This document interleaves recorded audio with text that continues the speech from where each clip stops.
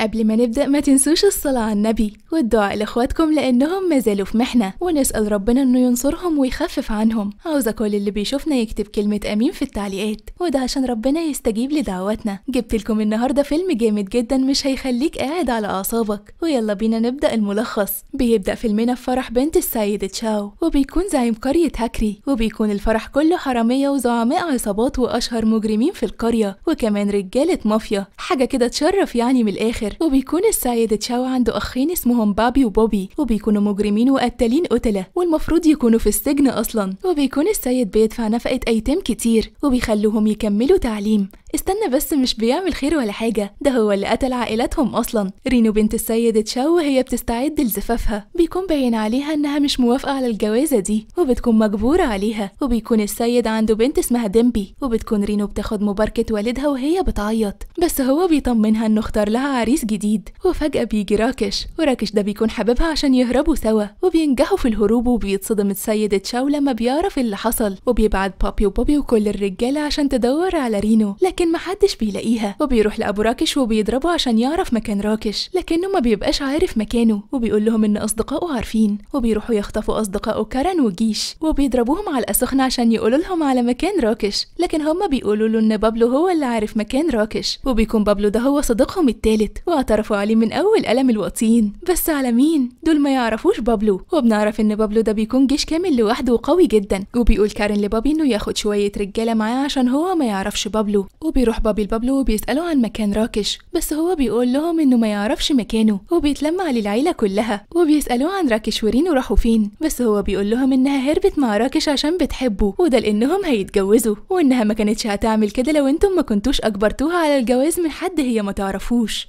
بيقول لهم إنه لو راكش رن عليه يبقى يقول لهم وبيكون فاكر نفسه إنه هيمشي. يا عم بابلو هو دخول الحمام زي خروجه بس بيجي يقول له إنه لغاية لما يلاقي بنته هو هيكون موجود هنا. وبيحبسوه لما أصحابه بيشوفوه بيحضروا وبيقولوا له انقذنا. وهو بيقول لهم ما تقلقوش محدش هيعمل لكم حاجة. وبيكون بابلو مش فارق مع الحبس وبيكون سعيد جدا. وبيقول لأصدقائه إنه ما يعرفش فين مكان راكش. وبيسألوا أصدقائه أنت سعيد ليه؟ بيقول لهم أنا معجب بواحدة وأول ما شافها قلبه اتحرك من مكانه. وإنه وهي ماشية العقد بتاعها وقع منها وهو محتفظ بيه عشان حاسس إن هيشوفها مرة تانية. وبيقرر بابلو إنهم يهربوا وفعلا بيبدأوا الهروب من الأوضة اللي محبوسين فيها. وبيكونوا خلاص هيهربوا. بس قبل ما يركبوا القطر بابلو بيشوف البنت اللي معجب بيها وبيقف مذهول من جمالها. وبيجي بابي والرجالة وبيقبضوا عليهم تاني وبيرجعوهم للقصر من تاني. وبيضربوا بالقلم عشان هربوا منه. وبيقول لبابلو إنه ما يفكرش في الهروب مرة تانية. وبابلو بيقول إنه مش هيمشي غير لما يلاقي بنته. وبيستغرب صاحبه من رده. لكن هو بيقول لهم البنت اللي أنا معجب بيها بتعيش في القرية دي. وبيقول لهم إنه عاوز يعرف هي مين. وبنعرف إن البنت اللي بابلو معجب بيها دي بتكون بنت السيد تشاو. وبيمنع تشاو ديمبي إنها تروح الكلية عشان رينو اللي هربت. وبيكون خايف لا تعمل كده هي كمان. وبتكون ديمبي متضايقة جدا عشان عايزة تروح الكلية بتاعتها. وبتروح لوالدها تشاو عشان يسمح لها إنها تروح الكلية لكنه ما بيوافقش. وبيكون في تقليد في القرية إن أي بنت تهرب من يوم فرحها أهلها يقتلوها. بس تشاو بيقول إن بنته ما هربتش وإنه الشاب ده ضحك عليها. بس لو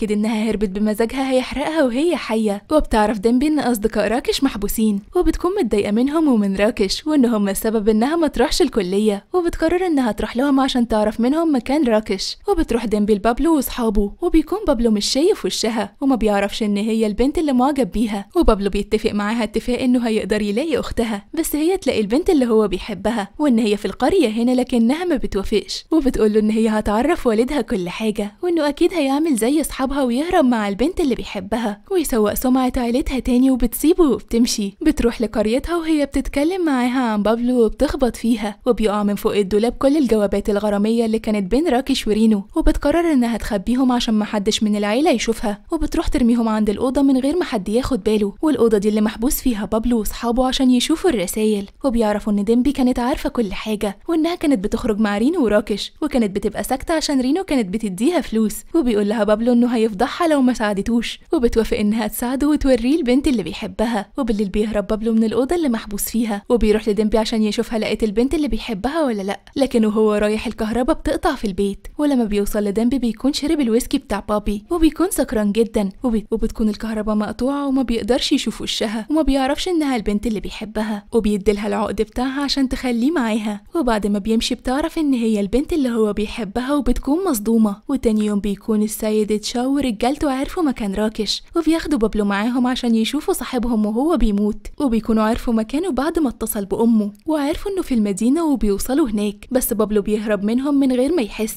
وبيروح لشقة رينو وراكش من الشباك. وده قبل ما رجالة تشاو يوصلوا لهم. وبيعرف راكش إن بابي وبوبي جايين عشان يقتلوه. وبيقولوا إنهم عرفوا مكانك لما كلمت أمك امبارح. وبياخد بابلو رينو وراكش وبيقدر إنه يهربهم. وبيديلهم فلوس وبيخليهم يروحوا مكان تاني وبيبقوا في أمان. وبيقول لهم إنه هيهتم بكل حاجة هنا. وبيشوفوا صاحبه وهو مع راكش ورينو وبيكون بابلو صاحب صاحبه وجدع جدا. وبيرجع بابلو المكان قبلهم وبيرجعوا تاني للقصر. وبتكون ديمبي وصاحبتها في أوضة بابلو. وبيدوروا على رسائل الحب. وفجأة بيجي رجالة تشاو لأوضته عشان يرجعوا بابلو وأصحابه. بس بتكون ديمبي جوه وبتستخبى. وبتقول لصاحبتها إنها كانت بتنظف المكان. وبتطلع من الأوضة وبتتحبس ديمبي معاهم. وبيتخانق صحاب بابلو معاه. لأنه ما قالهمش إنه يعرف مكان راكش. بس هو بيقول لهم كانوا هيعترفوا على مكان راكش من أول قلم وبتسمع ديمبي بابلو وهو بيقول إنه عادي يموت من أجل البنت اللي هو بيحبها. وبتعرف قد إيه هو بيحبها وبتاخد الرسايل وبتمشي. وبتروح تحكي لصاحبتها عن كل اللي سمعته وإنه كان بيساعد رينو وراكش وعن قد إيه هو بيحبها. بس عمها بابي بيكون سمعها وبيقول لها هو مين فيهم؟ وبياخدها ليهم عشان تقول مين فيهم. وبتكون خايفة جدا. ولما بيشوفها بابلو بيكون فرحان جدا وبيعرف إن ديمبي هي البنت اللي بيحبها. وبيكون يا عيني في عالم تاني. وبتشاور على بابلو عشان بتكون خايفة. وبيكون بابلو بيبص في عينيها ومش مركز معاهم خالص وبياخدوه وبيضربوه. وده عشان يعترف على مكان راكش وبيكون فرحان قوي إنه شافها وعمال يفكر فيها. ولما بيعرفوا إن الضرب مش بيأثر فيه بيهددوا إن هم هيقتلوا صحابه لغاية لما بيقول لهم إن راكش في دلهي. وتاني يوم بيستعدوا عشان يروحوا دلهي. وبيشوف بابلو ديمبي وبيكون عايزها تيجي معاهم. وبيروح لتشاو وبيقوله إن ممكن ديمبي تهرب وهم مش موجودين. وبيقرر تشاو إنه يسيب حارس معاها. فبيتوتر وبيرجع تاني بالعربية وبيخليها تيجي معاهم عشان بيبقى خايف عليها. وبيكون بابلو فرحان إن خطته نجحت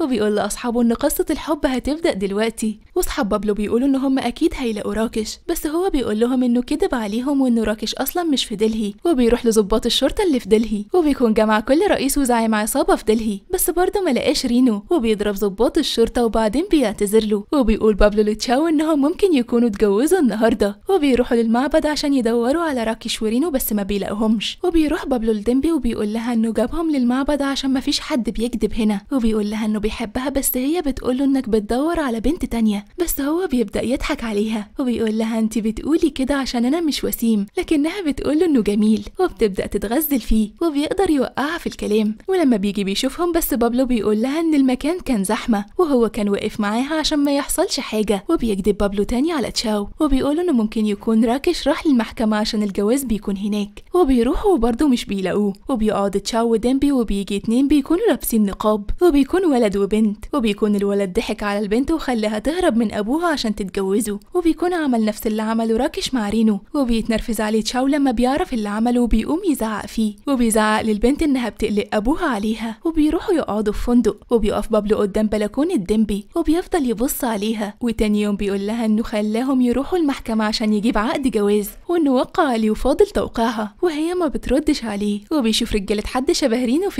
الاتوبيس وبيجروا وراه بالعربيات ومعاهم بابلو وأصحابه. وبيسيبوا ديمبي في محطة القطر لوحدها. ولما بيوصلوا للأتوبيس ما بيلاقوش ولا رينو ولا راكش فيه. وبيجري بابلو على محطة القطر عشان يطمن على ديمبي لكنه ما بيلاقيهاش. وبيكون في مجرمين خطفوها وعاوزين يتحرشوا بيها. لكن بيجي بابلو بيضربهم كلهم وما بيرحمش فيهم حد بسبب اللي كانوا بيعملوه في ديمبي. وبتشوفه ديمبي وهو بيضربهم عشانها. وبيجي ورا السيد تشاو ورجالته وبيلاقي بابلو قام بالواجب مع المجرمين. والسيد تشاو بيشكر بابلو على انقاذه لديمبي وبيقول له روح ارتاح شوية. وبالليل بتيجي ديمبي تشكر بابلو على إنقاذه ليها. وبتركب مع بابلو على الموتوسيكل. وبيروحوا يخرجوا مع بعض وبيغنوا وبيرقصوا سوا. وتاني يوم بنشوف السيد تشاو وبابلو وبيروحوا البانسيون واللي كان موجود فيه راكش ورينو بس مشيوا عشان فلوسهم خلصت. وبنشوف السيد تشاو وهو بيعيط عشان مش عارف مكان بنته. وبيكون زعلان لأنها هربت. وبيكون بابلو معاه وبيزعل لما بيلاقيه كده. وتاني يوم بتعترف ديمبي بحبها لبابلو. لكن مرة واحدة بيشوف السيد تشاو رينو في الأتوبيس. وبيجري وراها لغاية ما بتشوفه وبتنزل من الأتوبيس وبيهجم رجالة تشاو على راكش. لكن بابلو بيدافع عنه وبتقول رينو لوالدها انه ما يضربش راكش. وده لأنه جوزها وبتقعد تعيط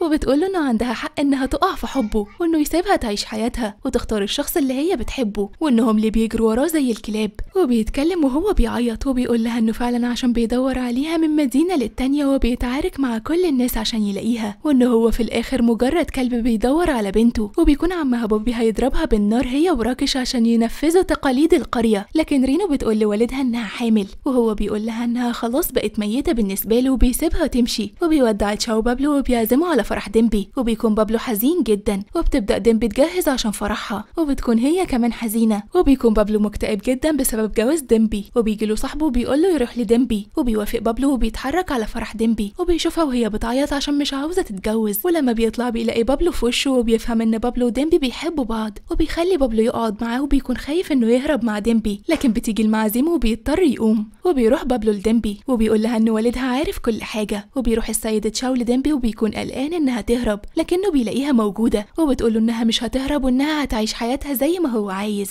وبيعيطوا هما الاتنين وبيروح السيد تشاو لبابلو وبيسأله إنت جاي عشان تهرب مع بنتي صح؟ لكن بابلو بيقول له إنه الهروب مش صعب وإنه خايف منه وان هو في الأول كان بيضحك على تصرفاته لكن لما شاف الأب بيكون عامل إزاي لما بنته بتهرب وإنه أكيد مش هيكون السبب في إنه يشوفه كده تاني. وبيقول له إن إحنا مختلفين. إنت عايز تنقذ شرفك وأنا عايز انقذ حبي. إنت عايز الجواز يتم وأنا مش عايزه يتم. وبيقول له إنت بتحب ديمبي أكتر مني. بس لو حد بيحبها جدا بعدك فهو أنا. وبيقول ان هو كان جاي عشان يهرب مع ديمبي بس هو مش هيعمل كده وبيسيبه وبيمشي وبيطلع بره الفرح مع أصحابه. لكنه بيهجم عليهم راجو اللي هيتجوز ديمبي ومعاه رجالته وبيضربوا بابلو بالعصيان. وهنا بيغمى على بابلو. لكن بيقدر بابلو يفوق وبيضربهم كلهم. وبيضرب راجو علقه جامده وقبل ما بابلو يخلص على راجو بيجي تشاو وما بيرضاش إن بابلو يقتل راجو وبيوافق على جوازه من ديمبي وبيقوله إنها لو واجهت مشكلة مش هيرحمه وبيحضن بابلو ديمبي وبيكونوا فرحانين جدا وبتكون النهاية سعيدة ما بينهم وبكده بيكون انتهى فيلمنا النهارده.